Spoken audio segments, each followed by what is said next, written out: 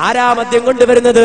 കേട്ടോളൂ മദ്യം പള്ളിയിലേക്ക് കാമിലി നാട്ടിലേക്ക് മന്ത്രി ചോദ്യ വെള്ളാണോ അരയിൽ? മുടിയിട്ട വെള്ളമാണോ അരയിൽ? കുടക് ജില്ലയിലെ മടിക്കേരിയിൽ നിന്ന് അഞ്ച് കിലോമീറ്റർ അകലെ ഗദ്ദ മഹല്ലിൽ ഗദ്ദള മഹല്ലിൽ ഹത്തീബായി സേവനമനുഷ്ഠിച്ചിരുന്ന വയനാട് മാനന്തവാടിക്ക് അടുത്ത വാള വാളോട് വാളാട് സ്വദേശിയായ ആ സക്കാഫിയുടെ പേര് ഞാൻ പറയുന്നില്ല. ഒരുപക്ഷെ അയാൾ തൗബ ചെയ്തിട്ടുണ്ടെങ്കിലോ.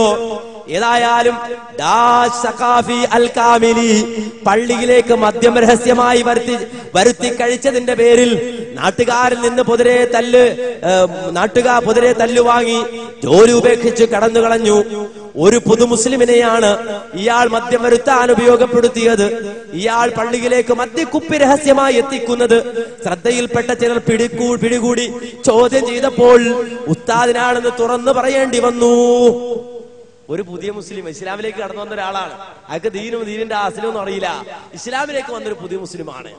അയാളെ കൊണ്ട് മദ്യം ഷാപ്പിൽ നിന്ന് മദ്യം വാങ്ങിയിട്ട് പള്ളിയിൽ നടിച്ചതാ ഇത് ഞങ്ങൾ ഇറക്കിയതല്ലല്ലോ.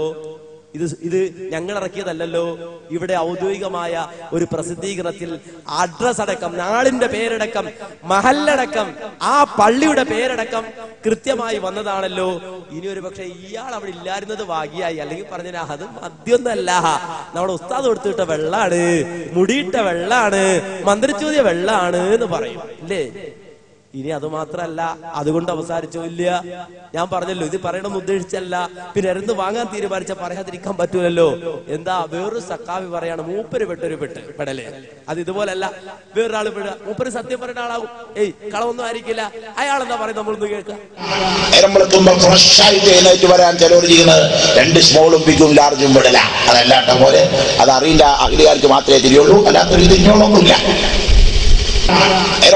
ഫ്രഷ് ആയിട്ട് എഴുന്നേറ്റ് വരാൻ ചിലവർ ചെയ്യുന്നത് രണ്ട് സ്മോളും ബിഗും ലാർജും വിടല അതല്ലാട്ട പോലെ അത് അറിയില്ല. അഖിലുകാർക്ക് മാത്രമേ തിരിയുള്ളൂ. അല്ലാത്തൊരു തിരിഞ്ഞോളൊന്നുമില്ല ചില മനുഷ്യന്മാര് ഞാൻ നാളെ ഒരു ബാറിന്റെ അവിടെ ഇങ്ങനെ വണ്ടി നിർത്തിയപ്പോ വണ്ടി പോകുമ്പോ അവിടെ നിർത്തിയതാണ്. അവിടെ ബാറിൽ ചോദിച്ചോ അപ്പൊ അതിനൊരാൾ ഇറങ്ങി വന്നതിനോട് ചോദിച്ചു നിങ്ങൾ ഇന്നാളെന്ന് ചോദിച്ചു അതെ. അപ്പൊ എനിക്ക് പേടിയായി. കാരണം ഈ ബാറിന്റെ അവിടെ വണ്ടി നിർത്തി. ഇയാളെ സംസാരിക്കുമ്പോ നീ വല്ലതും ആളുകൾക്ക് എന്തൊക്കെയാ പറഞ്ഞുകൂടാത്തത് ഇപ്പോ? മനുഷ്യന്മാർ അങ്ങനെയാണല്ലോ. അപ്പൊ ഇയാൾ എന്നോട് പറയാണ് ഉസ്താദ് പേടിക്കൊന്നും വേണ്ട. ഇവിടുത്തെ ഏറ്റവും വലിയ കസ്റ്റമേഴ്സ് നിങ്ങളുടെ ആൾക്കാരല്ലേ? എല്ലാരും രാത്രിയാകുമ്പോ ഓരോ ഓരോ ബോട്ടിൽ പൊതിയിട്ടാ പോണെ. നിങ്ങൾ വിചാരിക്കാത്ത പേര് പറയാൻ പറ്റാത്ത പലരും അപ്പൊ ഇയാൾ എന്നോട് പറയാണ് ഉസ്താദ് പേടിക്കൊന്നും വേണ്ട. ഇവിടുത്തെ ഏറ്റവും വലിയ കസ്റ്റമേഴ്സ് നിങ്ങളുടെ ആൾക്കാരല്ലേ? എല്ലാരും രാത്രിയാകുമ്പോ ഓരോ ഓരോ ബോട്ടിൽ പൊതിയിട്ടാ പോണെ. നിങ്ങൾ വിചാരിക്കാത്ത പേര് പറയാൻ പറ്റാത്ത പലരും കണ്ടോ? എന്താ മൂപ്പര് പറയുന്നത് അറിയോ? മൂപ്പര് വണ്ടിയായിട്ട് പോയി ഒരു ബാറിന്റെ ചോട്ടിലാണ് നിർത്തിയത്. ഒരു ബാറിന്ന് ബോർഡ് ചെയ്തെടുത്ത് മൂപ്പര് വണ്ടി നിർത്തിയിട്ടു. അപ്പോ ഒരാൾ അതുവഴി വന്നു എന്നാ അപ്പൊ മൂപ്പർക്ക് പേടിയായി. കുറച്ചോനെ ആരെങ്കിലും കണ്ടാലോ? അങ്ങനെ വന്ന ആൾ ഇദ്ദേഹത്തിന്റെ വന്നിട്ട് പറഞ്ഞു എന്താ ഉസ്താദ് ഇവിടെ? ഏ ഒന്നുമില്ല. വെറുതെ വണ്ടി ഇട്ട് നിർത്തിയതാ. അങ്ങൾ പേടിക്കൊന്നും വേണ്ട. നിങ്ങളുടെ ആൾക്കാർ എവിടെ വരുന്നത് നിങ്ങളുടെ ആൾക്കാർ എവിടെ വരുന്നത് ബേജാറാകൊന്നും വേണ്ട. പേടിക്കൊന്നും വേണ്ട.